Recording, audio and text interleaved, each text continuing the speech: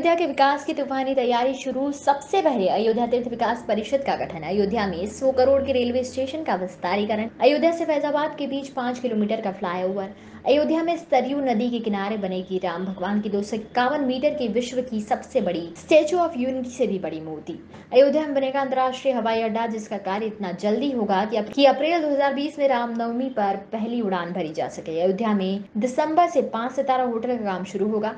अयोध्या में दिसंबर से 10 बड़े रिसोर्ट का काम भी शुरू होगा। 2000 कारीगर एक दिन में आठ घंटे काम करते हैं तो ढाई साल में मंदिर बनकर तैयार हो जाएगा, जबकि अभी पैंसठ प्रतिशत पत्थर तराशे जा चुके हैं। अयोध्या में सरयू नदी में क्रूज चलाने की तैयारी, तिरुपति की तरह अयोध्या नगर बसने में लगेंगे चार साल का समय। भारत के अयोध्या में बनने वाला राम मंदिर देश का सबसे बड़ा धार्मिक स्थल बनेगा।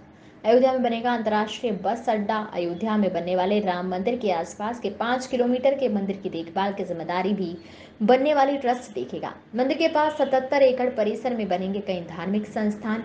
अयोध्या के राम मंदिर के पास में गौशाला, धर्मशाला और वैदिक संस्थान के साथ कई धार्मिक परिसर बनाए जाएँगे। अयोध्या में दस श्री राम द्वार बनाए जाएँगे। अयोध्या आध्यात्मिक नगरी के रूप में विकसित होगी। दस हज़ार रैन बसोरे का निर्माण होगा। भगवान राम से जुड़े सभी कुंडों का पुनर्निर्माण होगा। Subscribe our channel and press the bell icon for more updates